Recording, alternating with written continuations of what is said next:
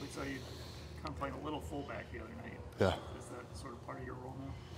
Yeah, I got a lot of roles. Um, it's kind of one of the things that I do. Do a lot of different things, um, and it keeps it interesting, keeps it fun.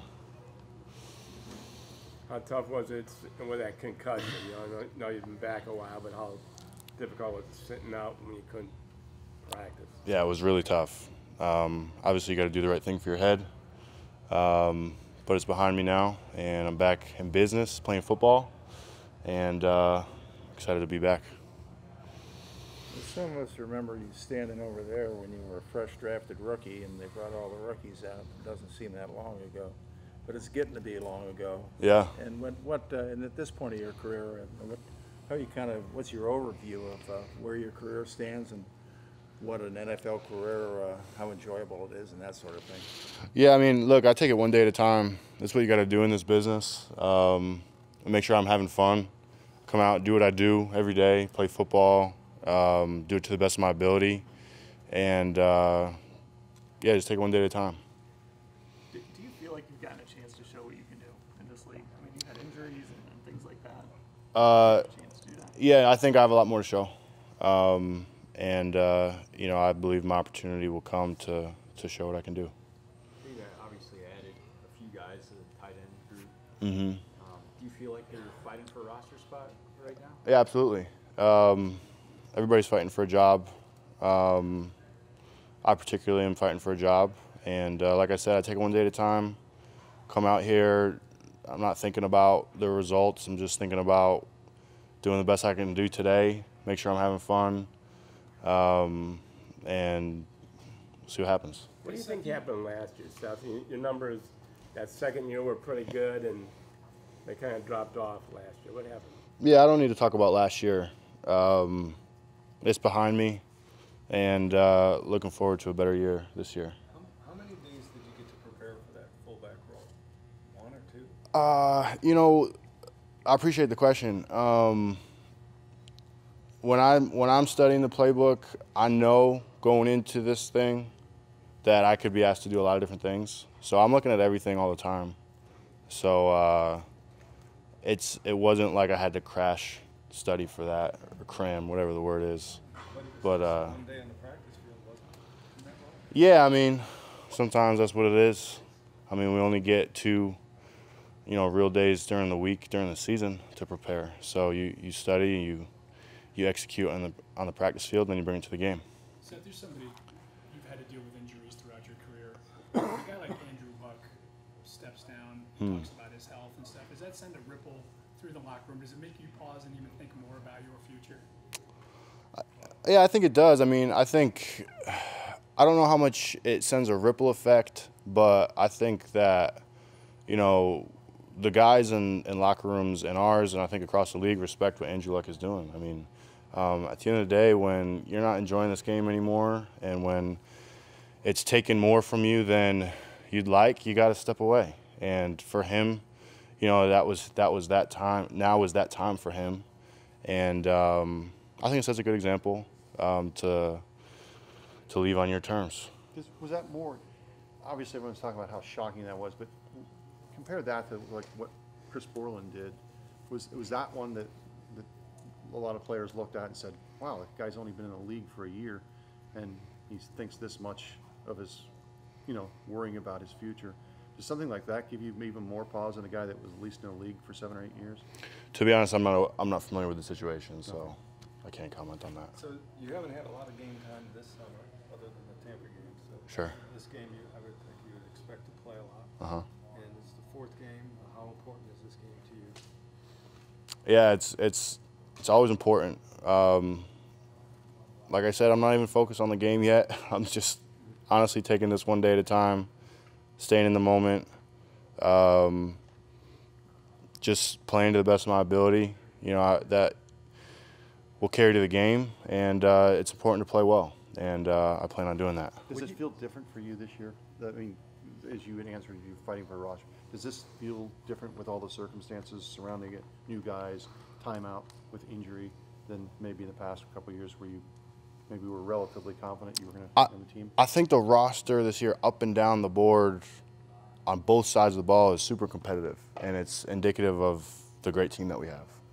Um, if guys don't make it here on this roster, they're gonna they're gonna make it somewhere else for sure. So that's the way I feel about this roster. I think it's very competitive. I think it's very talented. I think it's very good, and we can't keep everybody. Um, so, you know, everybody's fighting. Everybody's fighting. What's your comment on uh, what uh, traits that Mayfield has that are of uh, value to this team? All of them. Uh, he, he's he's great. Uh, he's a great leader, um, not only on the field but in the locker room. Um, he's got tremendous poise and confidence, and you know I played quarterback in high school, and I know you need that. The moment you lose that, the moment your play starts to go down downhill, especially at that position, and uh, he steps into his throws, throws them on time, and uh, he's playing confidently, and I think he always will. How would you rate his accuracy, uh, eh, both his, his fastball, let's say, in uh, terms of how hard his, uh, his fastball is to catch, and his overall accuracy? I think he's tremendously accurate. Um, I mean, sometimes I'm turning around and the ball's like right on my head, and it's hard to do. You know what I mean? So I think it's pretty good. When you first came out to this thing, you were kind of like a split the seam downfield tight end. Yeah. Can't think of anything more different than the blocking back. Um, Did you ever anticipate you'd be filling that role? I can't say I anticipated it, but sure, my role is definitely evolved, and um, I'm doing you know what they asked me to do to help this team, and um, you know I'm happy to do that. So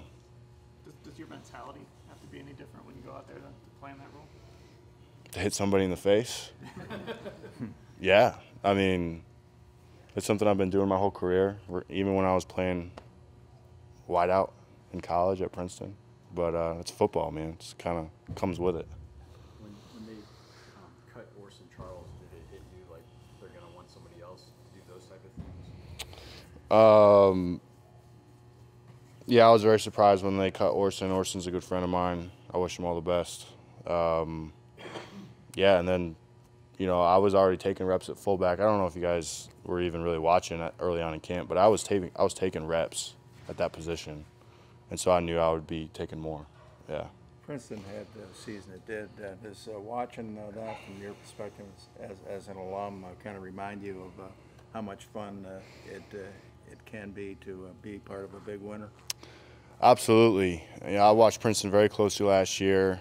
It was probably the best season in memory for the Tigers, and um, gosh, brought me brought me back good memories, and it was really fun to watch them. And like you said, yeah, it's uh, it's an exciting game. In terms of, uh, you know, the um, aura around the Browns now, you know, it's, it's there. Uh, What's that been like for you to be part of a team that's supposed to be on the rise? Yeah, I'd love to be able to blow teams out by 50 points in the NFL. That would be pretty fun. um, that's what you know my guys did in college last year. Um, but it's fun to win, man. I mean, look, I've been on both sides of it since I've been here, and gosh, it's so much better to win. So You, you mentioned having played quarterback before. One trait Yeah. that is always strikes me with Mayfield is his pocket presence, his ability to just maybe take one or two steps to avoid the danger. When you guys watch the film of him, does that stand out to you? And just because everyone says it's kind of an innate ability, you either kind of have it, you can learn it a little bit, but either have it or you don't. yeah, I think I think it is. I mean, some guys at that position, they step back there, they turn around, and they they just see jerseys. You know what I mean? And other guys, they turn around and they see exactly what they need to see. And um, it's hard to find those guys, right? That's what GMs get paid to do. But uh, we got one, and uh, he shows that every day. Take a couple more. How was your experience uh, uh, when you've been on the field across the, uh, the, th- the three years? Helped you uh, really have a better grasp of uh, what's going on uh, at the NFL game speed?